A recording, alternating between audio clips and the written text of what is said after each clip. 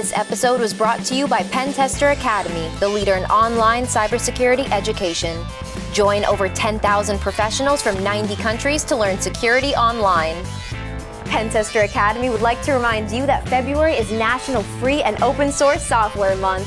This celebration recognizes the contributions and cooperative approach to computer programming, open licensing, and the free distribution of software. So, celebrate with us this month by tuning into the Toolbox every Monday and Wednesday to learn about the latest free and open source tools. I'm Marley Oxenholm from Pentester Academy TV, and welcome to our show, The Toolbox, where we showcase the latest and greatest software tools so you can use them to better your security. I have an awesome tool to show you guys today. Let's take a look at Fluxion. Fluxion is a WPA and WPA2 attack tool. It deauths and forces the client to the rogue access point. Then it redirects them to the fake captive phishing portal designed for stealing WPA and WPA2 network credentials. And it verifies the entered credentials via air cracking tool. This tool is written in Bash and has no known author at this time. Now, you're probably wondering how to use this tool. Well, take a look at this great example. In this demo, we will learn how a phishing attack can be done on the target user to get the valid credentials of WPA and WPA2 network. By functionality, it is similar to Y-Fisher tool, which we have discussed in one of our previous episodes. However, Fluxion can detect the difference between wrong passphrase, whereas Y-Fisher can't do that. Let's go ahead and run the tool. First, it checks for all dependencies and then asks the user to select the language. We will select 4, which corresponds to English. Then we need to select the wireless network adapter. We will enter 1 to choose WLAN 0. The tool will switch the interface to monitor mode and ask the user to define the channels to scan.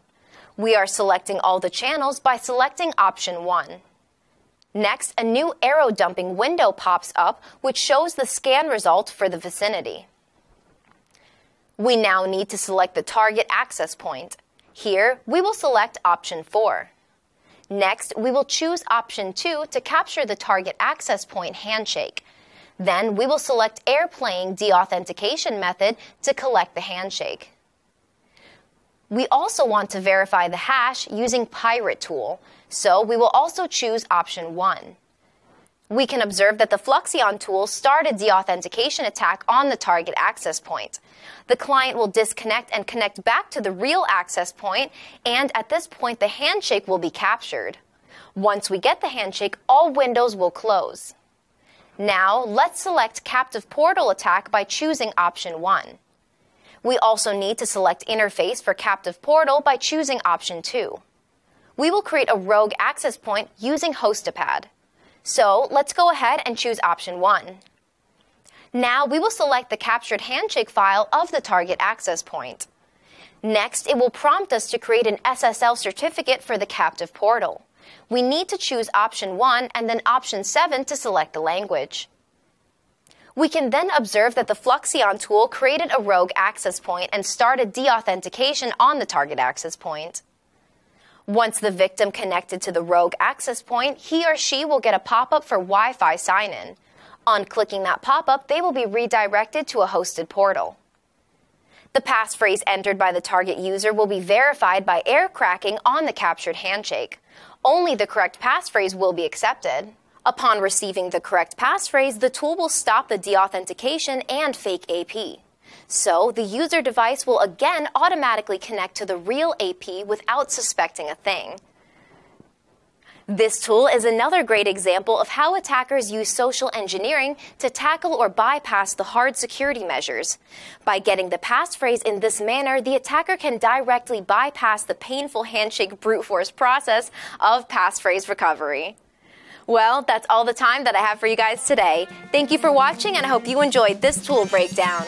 Be sure to tune in next time for another episode of The Toolbox. Also, make sure to subscribe to our YouTube, Twitter, and Facebook so you don't miss out on any of the latest cybersecurity news. This episode is brought to you by Pentester Academy, the leader in online cybersecurity education. Join over 10,000 professionals from 90 countries to learn security online. Also brought to you by Hacker Arsenal, artillery for cyber warriors. Visit us on hackerarsenal.com to check out our latest attack defense gadgets. Thanks for watching, and we'll see you next time.